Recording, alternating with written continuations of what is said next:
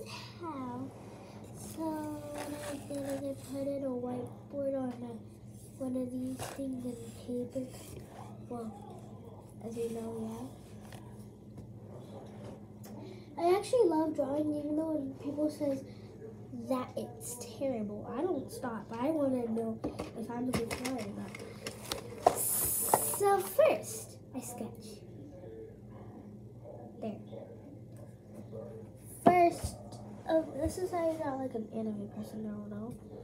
First, you draw like a little, a little U, like so, to make the chin. And then you make the head. This is why we do it with the pencil in case we make that mistake. I'll just erase that.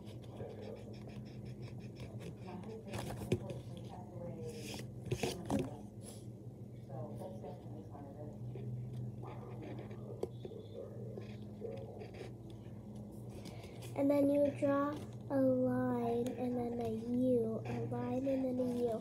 Don't just listen to me, actually like do this.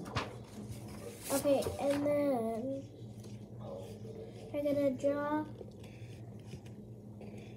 a mouse like this. See, so after that, I'm gonna draw a line not too far down like that. And then you're gonna make one curve and then another curve to make neck.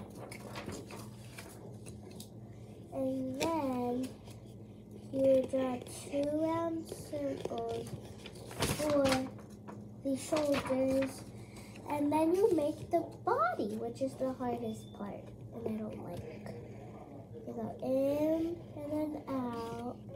You go in and then out. Motion detected at the blind spot. like so. And then you're gonna make a rectangle for an arm, like that. And then, and then on the other side, you're gonna make another rectangle. Like that. See?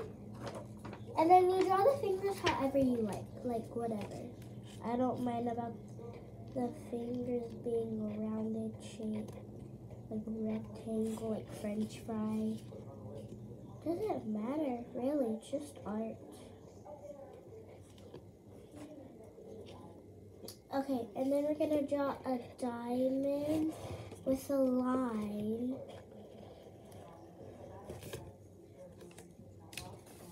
That. We're gonna draw a diamond with a line. And then you're gonna draw a, line down to that part. And then now we color. What I would like to use first is Posca markers, For the hair, brown. If you're wondering where there's animal tattoos on my face, don't worry about that. Just draw brown for the hair.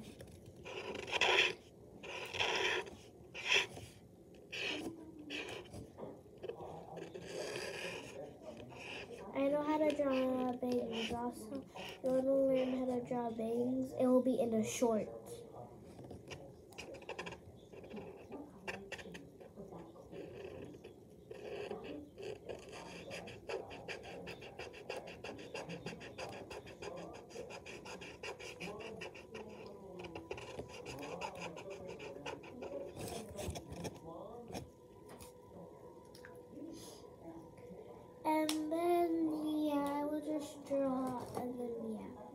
Bye-bye.